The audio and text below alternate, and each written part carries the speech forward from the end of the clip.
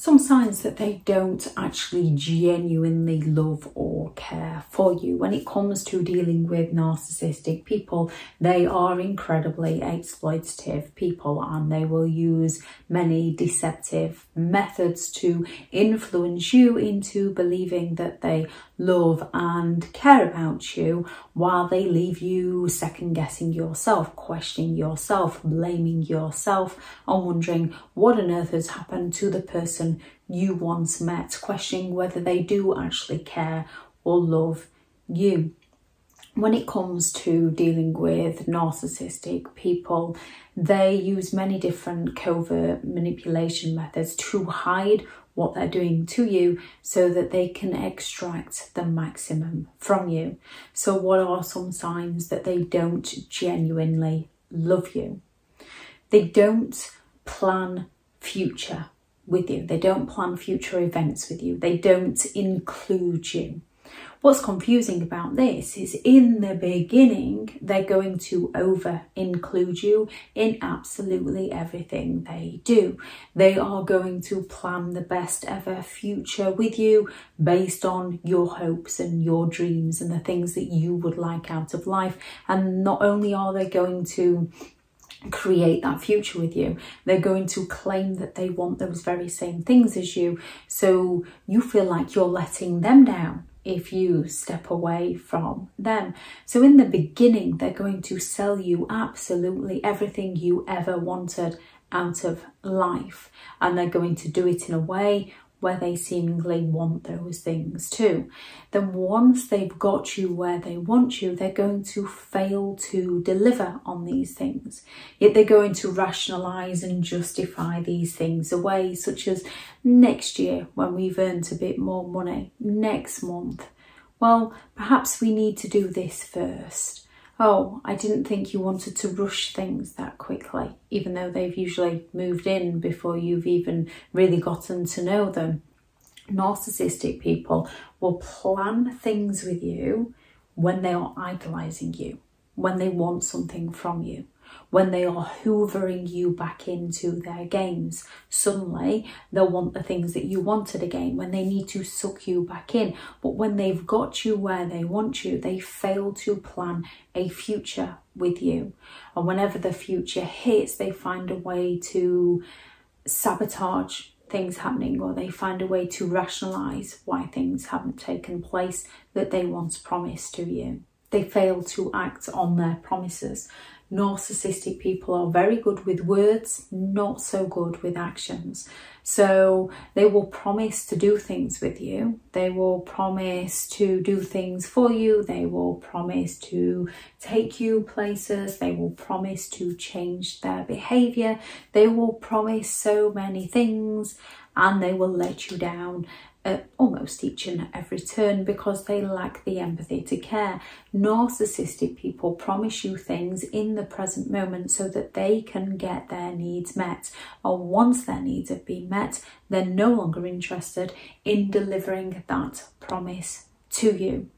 They are more than happy to leave you out of situations, leave you out of the loop yet claim that oh next time they'll let you know. Next time they'll invite you. Yeah next time they don't let you know. The next time they don't invite you. Their actions don't match the words. They can talk the talk but they don't walk the walk. That saying that actions speak louder than words and they do. A narcissistic person will tell you that you'll do something in future. They will promise you something. They will tell you that they love you, yet rarely to never will they deliver on those promises. Will they do those little things that show that they love you?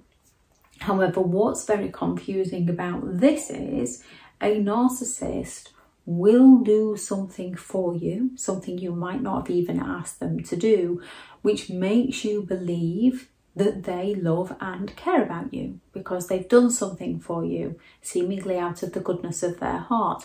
However, they use this as currency against you in the future. I let you do. I did this for you.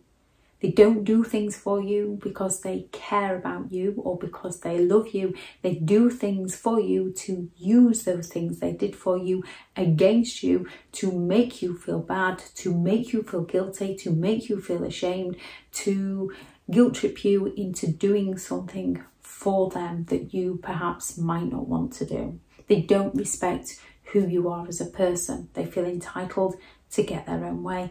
So their actions rarely to never match their words. They have that charismatic charm, they can have that joking manner. So they are very good at talking the talk. However, as they lack empathy, they're not so good at walking the walk.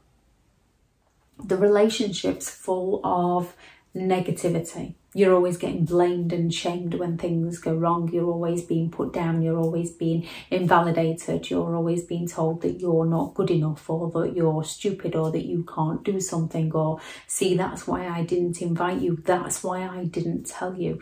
You're always getting the blame pinned on you for everything that goes wrong.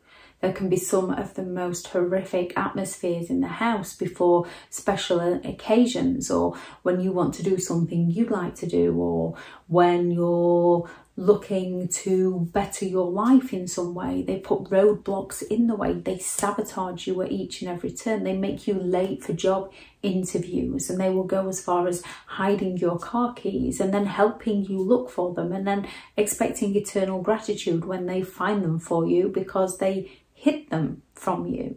You end up walking on eggshells around them for fear of reactions from them. You feel like you can't open up and communicate your thoughts and feelings with them because they will invalidate them, they'll belittle them, they'll tell you that you're too insecure, that you're too sensitive, that you don't know anything, that you never take their side, you, you daren't communicate with them when walking on eggshells with them, what works one day doesn't work the next. You're not sure who you can be around them for fear of setting them off. They can sulk at you for days, yet they will rationalize this and blame the circumstances of their lives. So you feel sympathetic sorrow for them and try to give them the space and try to help them out because you're all in there. You care you love them. You want what's best for them. You want to see them become happier. You want to help them out, not recognizing that they are neglecting you. They are sabotaging the relationship.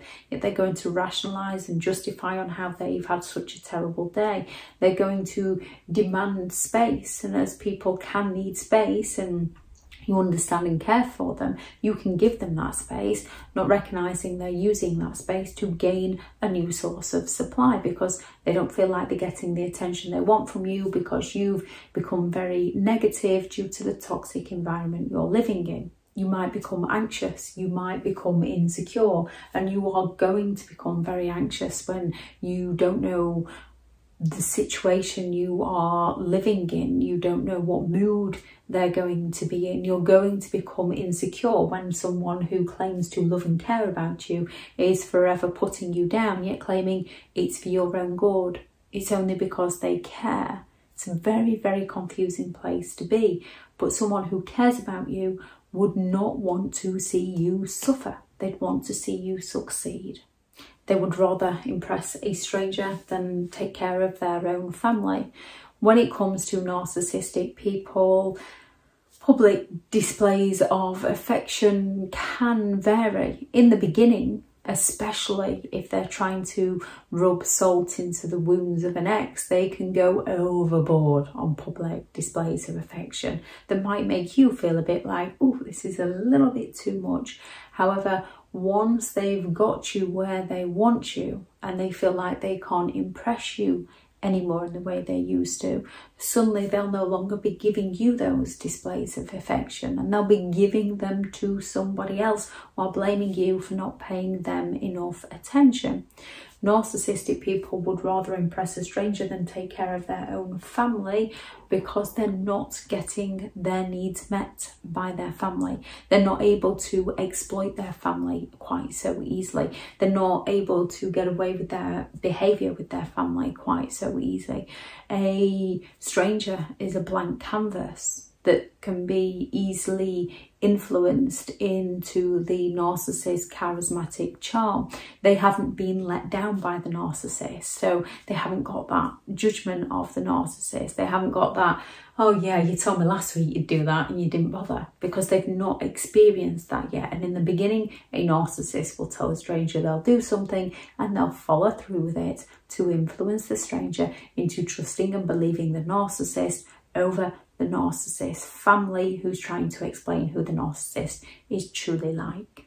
Walking ahead of you. There's many reasons why people might walk ahead and that doesn't alone make someone a narcissistic person. However, somebody who loves and cares for you is willing to wait for you, is willing to walk alongside you, is willing to help you along, help you up. So not just walking in front, metaphorically walking in front of you, they're always staying one step ahead of you in the games. They believe that they are superior. So if they want something, they're going to go right ahead and do all they can to try and get it. If they want to go somewhere, they're going to be ready in a flash and off. However, if you want to do something that they promise they do, but they're not that interested in doing, they're going to drag their heels. They're going to laze about in bed. They're going to create an argument just before you step out the door. And then they're going to be, I don't want to go with you in this mood.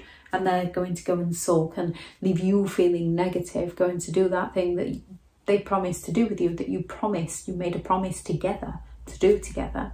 And they're going to find a way to get out of it at all costs to your emotional health. You're the one that's going to be left feeling frustrated and anxious and depressed and unhappy.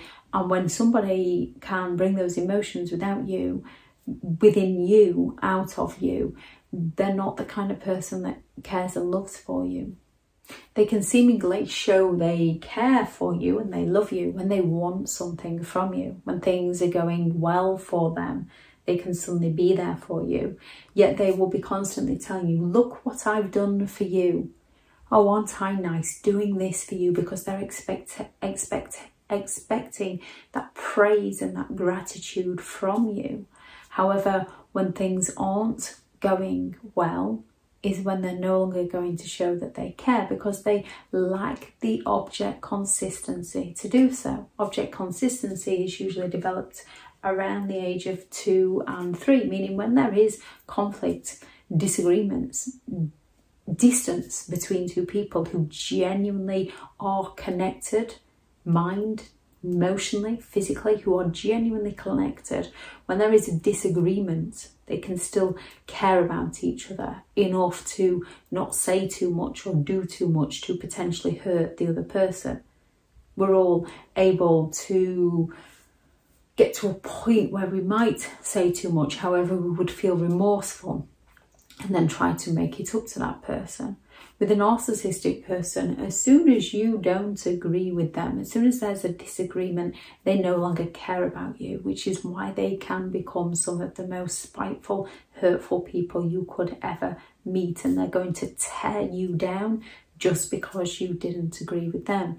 As soon as there is distance to a narcissist out of sight, out of mind, and they'll be looking for another source of supply. They're not looking to work with you, to help each other out, to make each other feel better, to help each other grow, to help each other develop, to help each other to achieve. Narcissistic people are incredibly insecure people and they hide this with their superiority and their controlling behaviour.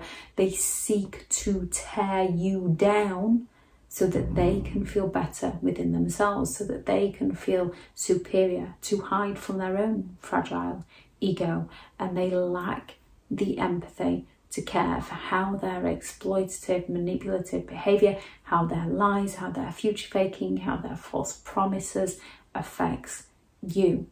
They only care about the image they're portraying to you or to those around you, which is why narcissistic people can potentially go overboard with the public displays of affection with you or when they're looking to smear your name, when they're looking to discredit your character, when you're out with friends and family, they might then seek to humiliate you, taunt you, bait you, get you to react to them so that they can play the victim with your friends and family and their friends and family and say, See, look what I have to put up with. Because they don't care about you, they don't love you, they don't respect you, they're not interested in helping you, they're interested in making you look bad so that they can look good. Mm-hmm. If anyone has any thoughts on this video, please do add those into the comments. Thank you very much to all the returning subscribers and your continued support with the channel. It's greatly appreciated. If you are new to the channel, I'm Elizabeth Shaw. This channel is all about narcissistic behaviour to give you more understanding of the people you might be dealing with within your life, how to handle yourself around those people if you cannot go no contact, and different methods to find what works for you to help you understand and overcome narcissistic and emotional abuse. If you do find the information helpful on the channel, please do subscribe. If you are looking for further help and support in understanding and overcoming narcissistic and emotional abuse, I do have several online guides available and those teachable links are in the video description. If you're looking for someone to speak to, I have partnered with BetterHelp and their sponsored link is also in the video description. Go out there and create the day that you deserve because you do deserve to have an amazing day. Bye.